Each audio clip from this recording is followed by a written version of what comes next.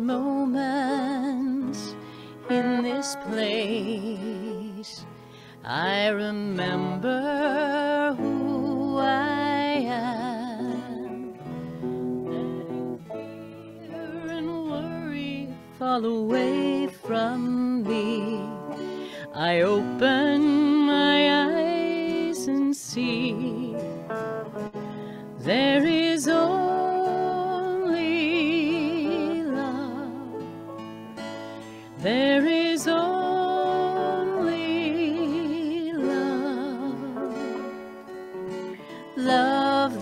that heals, love that sets us free. There is only. Sing that chorus again, ready? There is only love. There is only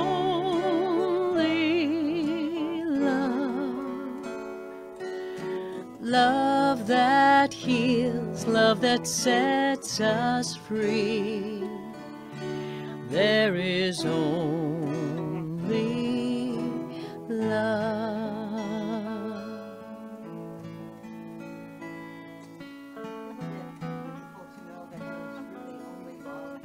that the substance of God that each and every one of us is, and that we are in the midst of every single day in this universe, in this planet, that there is only love. That is the reality of who and what we are and what we are walking through in life. A journey to learn how to love ourselves more, to love our neighbors, and to build, a, build and deepen our relationship with the Spirit of God. So right now I invite you to make yourselves comfortable in your chairs. Take a deep breath again and exhale out and just feel the energy of the day just fall away. You know, move your neck around so that your neck is relaxed. Because sometimes when we think too much, we stress out our brains as well as our necks. And we just want to loosen that up and loosen our shoulders up as we become more receptive and responsive and obedient to God, to the power of love. And right now, I would like for you all to imagine a beautiful white light, luminous light, streaming down into your crown chakra. This is your connection. Use the power of your imagination. Visualize this light. Albert Einstein said, the power of imagination is more powerful than the intellect. Because in the power of our imagination, we can see things begin to manifest in our lives. Because first it starts out as a thought, then a vision, and a lot of positive, spiritual miracle grow. And that is our attention and the divine idea. And in the middle of your head is the pineal gland. And they say that is where our faith faculty center is. The power of faith. Can you feel the light entering your crown chakra, the top of your head? And see it go down into the middle of your brain. And visualize this beautiful light spinning around the pineal gland, your faith faculty. It's cleansing, it's purifying, it's removing all false beliefs that you may have that you are ready to let go of.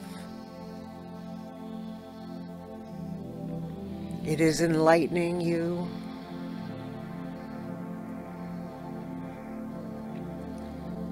In your journey, and it keeps spinning around. Just calling forth the faculty of faith.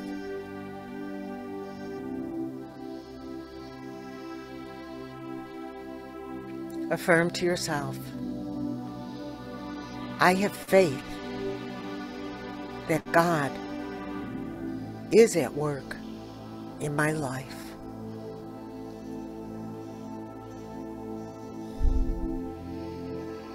I have faith in God, that God is at work in my life.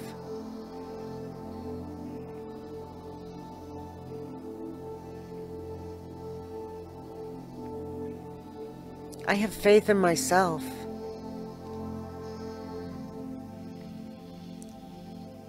That I will always do the next right thing.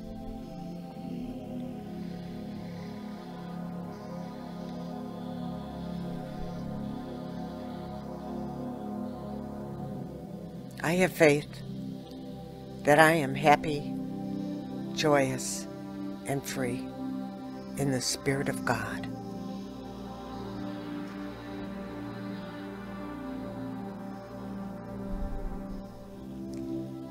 My faith makes me stronger. My faith makes me stronger.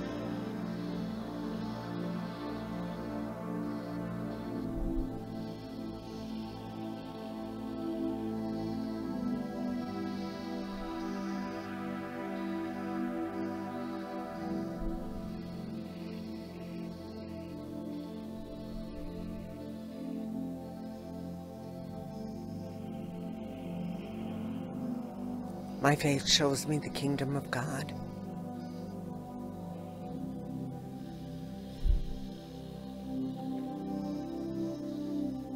Faith grows my consciousness of God.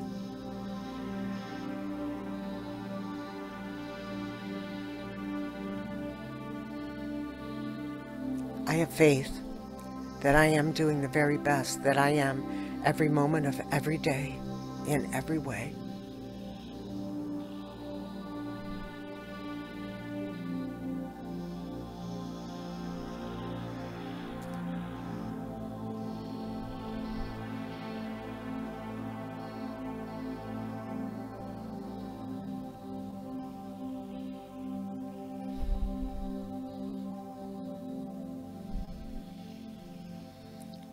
Feel that faith center pulsating with the light.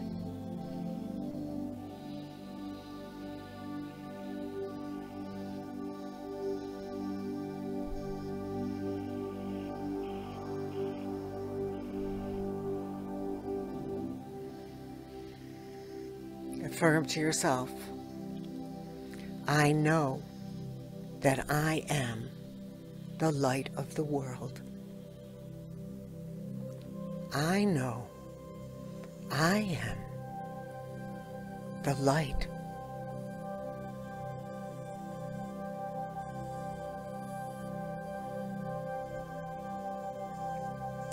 I am the light of God manifesting.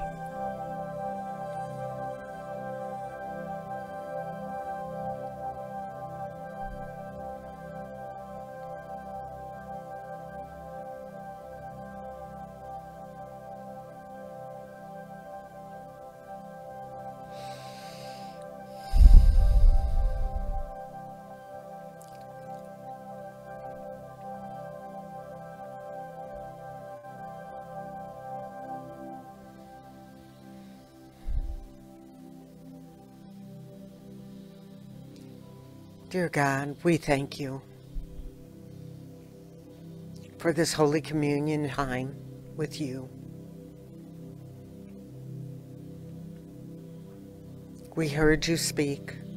We felt you. We experienced you. And we thank you for that greatest joy. And so it is. Amen.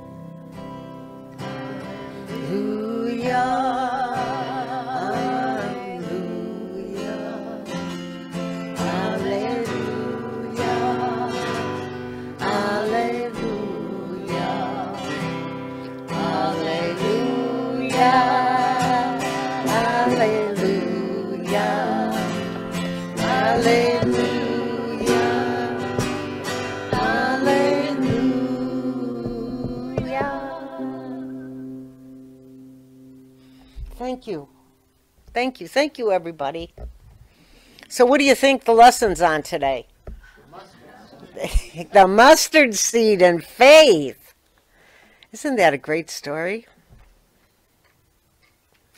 Well, faith is described in unity as the perceiving power of the mind linked to shape substance, the power to do the seemingly impossible. See, we might think things are impossible for us, humanly, yes, but nothing is impossible without God. It talks about that throughout the scriptures, right? Yeah. And it's a magnetic power when we really say, I have faith in this. I have faith that I am being guided and directed in my life. We're calling it forth. We're calling it into action. And, you know, we have the pineal gland and then we have the pituitary gland. And that's the power of imagination. So think of those two working together. If you can visualize your good and you have faith in it, what's going to happen? You're going to begin to vibrate that energy and it's going to become made manifest in your world. Am I right? God, I'm glad you're all with me and you're awake. So it's about having faith in the invisible realm to bring it forth into the physical realm. And that's what it's Jesus talks about in the Lord's Prayer, as in heavens, uh, as on, yeah. It's in heaven, right. So whatever we're thinking, it goes up to heaven and it will come out here. It's called thought manifestation. It's, yeah, I mean, sometimes we want it, but maybe I'm the only one that wants it like that fast. But I know I'm not the only one. And faith is, to me, is a deep inner knowing and that I can trust God. And, but I think it's our ego that gets in the way that says, oh no, who, who do you think you are? Uh, no, God's not going to do that for you. Why would God want to do that for Does God even like you? You know, that ego comes up and it says crazy stuff. But Jesus used the analogy of the mustard seed in two different ways. One day he was speaking to a group of people and asked them, What is the kingdom of God like? Have you ever stopped and pondered that?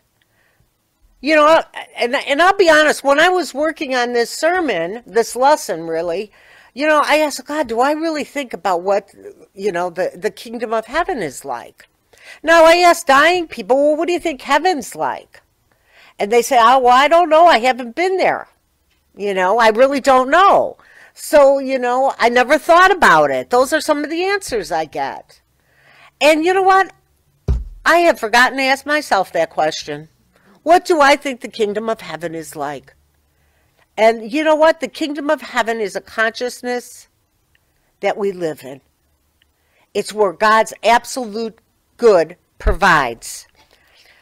That was from Luke 13 9, 19, I'm sorry.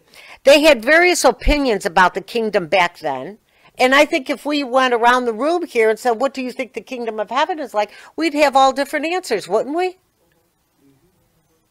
Some, you know, think it's a beautiful garden. Some think it's, you know, that it's, well, I feel it's behind my human comprehension. I, I've shared with you that I listen to a lot of near death experience podcast and everybody comes back and everybody has a different perception and but they have one thing in common. They say it's just so hard to describe because it's so beautiful. It's something that you really have to experience. And when we build that mustard seed it's one of the tiniest seeds there is. But if you plant it and you nurture it is what jesus is saying you plant it and you nurture it it's it's going to start to grow and it's going to turn into something very large. And isn't that something that we want? We want to live life in a large way, not like egotistically, but we want to live life in a large way that where we really enjoy our lives, that we really enjoy what we do for a living, that we really enjoy our grandkids. And we sometimes like our own kids, but we had to have them in order to get grandchildren. Somebody once asked me, how come we had to have kids to get grandchildren? I said, I don't know, take it up with God, you know? so I think it's a powerful statement, you know, to the kingdom of heaven is at hand, Jesus said. At hand. It's within us. And all of the parables mainly go back to the kingdom of God and what it's like. Well, the more we nurture that that um, mustard seed, the larger it becomes, the more it grows, the more it unfolds, and that's us. The more that we trust God, have faith in God, the more we grow in consciousness of God. And that is the kingdom of God. We start to feel better about ourselves. We start feeling happy. We start feeling, feeling joyous. We start, we find a new freedom and a new happiness in life don't we? Because we're not carrying around all those burdens because we know God's taking care of it. And we say to God, God, you know, if there's something more I need to do in this situation in my life, just do it through me. That's how I handle it instead of going, oh, should I be doing that? I'll drive myself crazy. I will have the World War III going on in my head with my ego. No, yes. Is this God or is this me? I don't know. Oh, my God. All right, let it go for now, Patty. Blah, blah, blah. Well, they say if it comes back three times in your mind, you need to do it. Well, yeah, I got that thought in my head. So, what, you know, I keep thinking about it. So it's easy to get that three count. So I don't trust it anymore. So I say, God, if there's more that I need to do, just do it through me. And you know what? God usually ends up doing it through me. And I don't have to worry about it. And that's building my faith faculty. You can build, you might have your own little ways of building your faith faculty to building your faith inside of you. And what is the kingdom of God? It's the inner consciousness of the presence of God within us. The kingdom was fully established in Jesus. Do you have faith in yourself that you could be like Jesus? Yeah, when we stop to think about it, somebody asks us, yeah. Okay, so what do we do daily to be more like Jesus? Pray, Pray. meditate, love. people. You know, giving of ourselves, giving of our financial resources, you know, giving um, things that we don't use away that are still good and not broken. You know what I'm talking about? Yeah. we don't have to wait until the clothes don't have any more color in them to give them away. that they're so washed out. Even, you know, the homeless wouldn't want to wear it. You know, they want to feel good about themselves. Don't you? I I mean, I want to feel good about God and I want to feel good about me. And, you know, there are many who have caught a glimpse of this inner kingdom, and I know all of you have. That's why we're here every Sunday. We want to be fed. We want to be inspired. You know, we want to show up and let our light shine and be here for other people and to enjoy the coffee and the tea and the water and the popcorn and the cheese and the crackers and the nice munchies that we have after service. And and and the hospitality of the church and the companionship of other people of like minds. You know? And there are many who have a superficial awareness, mostly intellectual, of the kingdom. And, you know, I talked a little bit about it last week. You know, some people think that if we have big or bigger things in life and manifesting it that we're really experiencing the kingdom of God or the presence of God. But that's a minute part, don't you think? Don't don't you want more than just the materialism? And then there are people, I have a dear friend, she's a minimalist. I go, don't we have any pictures in this house? Why? I like the white walls. I go, I feel like I'm in a hospital. they even have pictures now on the walls. but do you understand what I'm saying? We can celebrate in our good and that, uh, celebrate that, you know, we're, we're living life that we're financially stable in our lives and we have faith that God is going to provide for us in our retirement, that we, that God is going to take care of us as we get older. And that was something I really had to work through. I don't know about you, but sometimes getting older is not that much fun. And I got to find the fun in getting older. Because we all know I don't act my age, and I don't want to. Because I want to have fun, and I want to have joy, and I want to share my joy with other people. So, but we must know that the that the kingdom is beyond the materialistic world. You know, Easter's coming up, and even Judas had a false idea of what the kingdom was. And you'll find out he really didn't betray Jesus.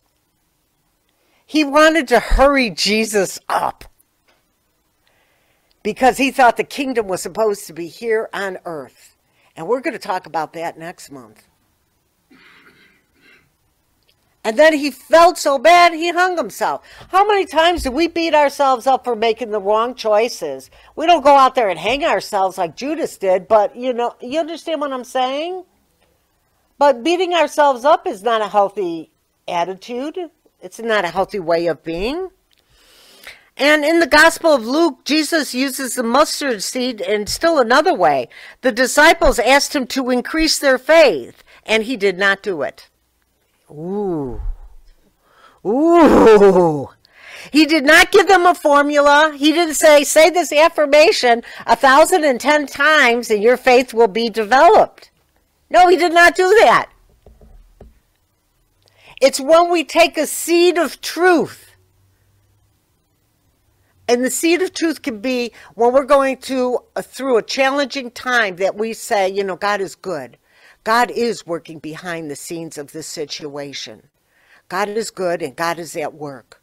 You know, that's that's calling that faith faculty out into action and we're growing. And when we slip back and we're starting to feel negative again or we're hopeless again or just bad about ourselves again, we we can go back to that that seed of truth. God is good. I am good. I am made in the image and likeness of God. I am completely good. Now, I might not always show the best behavior, but nobody does. Am I right? Yes. Yeah. Especially when we're kids. We just want to aggravate our parents just a little, you know? And we know it's going to aggravate them, so we do it. And then there's times that we do things and go, oh, wow, can't do that one again. Mom really got upset. Yeah, you know. But faith is something that only God can increase in us because we're practicing the principles. We're practicing the promises. We're practicing that we know the truth is going to set us free. Because everything in the Gospels that Jesus talked about is really simple, isn't it? Yeah, oh yeah, I can do this. Except for when the rubber really hits the road and, you know, and you really have to apply it. And then sometimes we get weary or worn out or we, we talk to people, you know, it's just like the story of Job. His friends are telling, I just curse God and get it over with for bringing you all this tragedy in your life. But Job did not do that. He still had faith in God that God was going to do him right. Even though he took away all his prosperity, he took away all his children, his wife died, he lost everything. He got diseased in his body. But he would not curse out God because he had faith that God was going to renew the years that the locust ate away.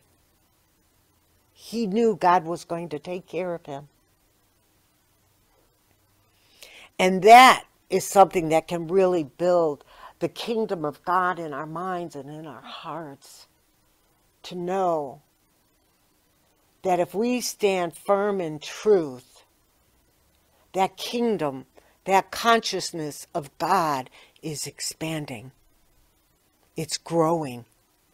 It's becoming brighter. The light of it is becoming brighter. It's beautiful. But it takes time. It takes effort. It's, you know, we have to sit down and we really have to learn how to be still so that we can hear God. Invite God in to speak to us so that our consciousness can grow and stand on firm ground. We don't want to build our lives on sand. We want to build it on rock. The church is you. And Jesus said to Peter, Upon my rock I shall build my church. You are the rock. How big of a rock are we? Are we standing firm in truth? The truth that's going to set us free. The truth that Jesus taught. Not, not my own personal truth, because it's changeable. The truth that we study here at Unity is the truth of God, its principle. Just like the mathematical formulas cannot be changed, neither can the principles of life be changed. They just work. If you work them, we have to work the principles. We have to work the promises. We have to work the statements of truth.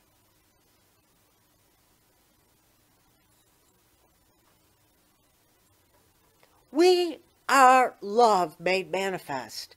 Do you really accept the concept that I am dearly loved by God and there is nothing in this world I can do or say as a human being that will turn God's back on me or shun me or leave me desolate. No, absolutely not. That's one thing I know for sure. I'm the one who has to forgive me. You're the one that has to forgive you. You're the one that has to take care of your spiritual consciousness. I can't do it for you. You can't do it for me. But we can all be supportive of each other and build it together.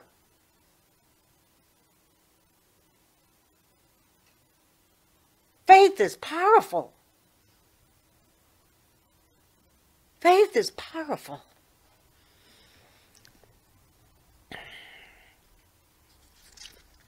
Reality, true reality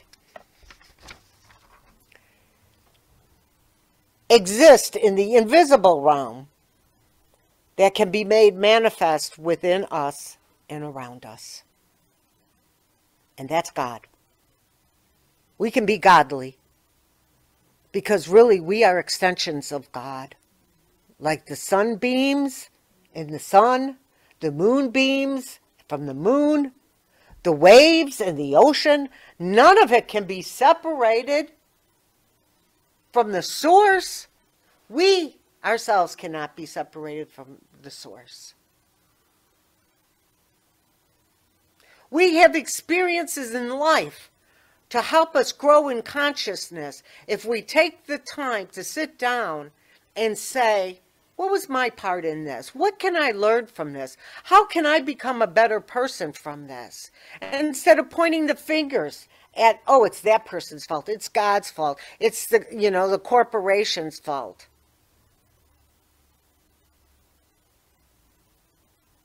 We have to stop blaming and just, we're so busy doing. We're just so busy doing all the time. Do we take that precious time daily to sit and say, God, I'm listening? and just focus on your breathing and say, God, I'm listening. God is, I am. God is, I am. And we are this beautiful flower in God's garden. We are this masterpiece in God's garden. We are the most unique thread in God's tapestry of life. Each and every one of us is a unique thread in God's tapestry of life. We are important. Do we feel important in life? Do we feel like we are working here on planet Earth to put forth more of God's good into expression? Being kind, being loving, being forgiving, you know, letting go of the stuff that is not of God within us, you know, opening ourselves up to the presence of God. I am open, I'm receptive, I'm responsive, I am obedient to the Holy Spirit. I say that every day. I've been saying it, I can't even tell you for how many years. The Spirit of truth goes before me, making my way easy, joyous, successful, productive, and prosperous in every way. You know, um, Saul had an experience when he was going through, um, what's the time? Damascus. Thank you. And um, when it happened, he went blind. All of a sudden, you know, he's on his way to the town of Damascus, and he goes blind. Has no idea why he went blind. He was blind for several days. And then when he got his vision back, he knew he was a different person. When you have an experience in your life, and when you finally get the message, aren't you a new person? Your consciousness shift, your heart opened up, your mind expanded. Yeah.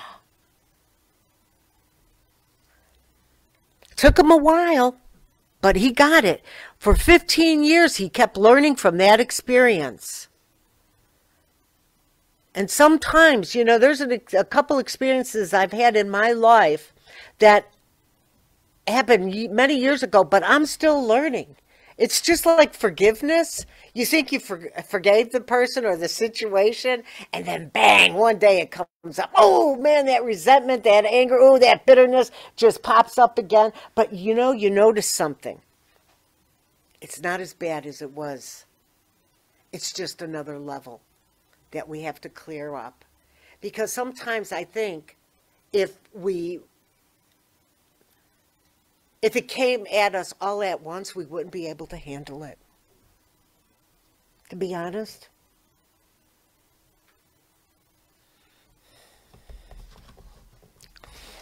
The expansion of faith is a free gift. And we get that gift when we build our relationship with God, when we have that holy communication time with God. So we have to literally hear the truth and set us free. But if we don't ponder it, we don't think on it, we don't meditate on it, or have a discussion about it with other people, how's it going to grow? How's it going to grow? You know, I could go on for another 20 minutes, but that would take us into overtime. Like last week, you know, the Super Bowl, they had to go overtime, but maybe a couple minutes, but, you know, nothing more than a couple minutes. But listen, it listening is not easy because we sometimes we just want to jump in and and fix the person. Well, first of all, they're not broken. And second of all, people might not want to be healed. Maybe they just need somebody to listen unconditionally and acknowledge their feelings. You know, when faith opens the mind, mountains are moved. Mountains of trouble, concerns, challenges. Faith is a very important part of our journey.